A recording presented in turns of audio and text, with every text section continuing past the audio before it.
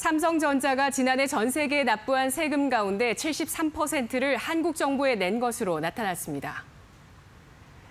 삼성전자가 어제 발간한 2021년 지속가능 경영 보고서에 따르면 지난해 삼성전자가 납부한 조세 공과금은 11조 1천억 원으로 집계됐습니다. 전년에 납부한 9조 7천억 원보다 14.4% 증가한 수준입니다. 조세 공과금 비중을 지역별로 보면 한국이 73%로 약 8조 1천억 원을 국내 세금으로 납부했으며 뒤를 이어 미주 유럽이 14%, 아시아 11%, 기타 2% 순이었습니다.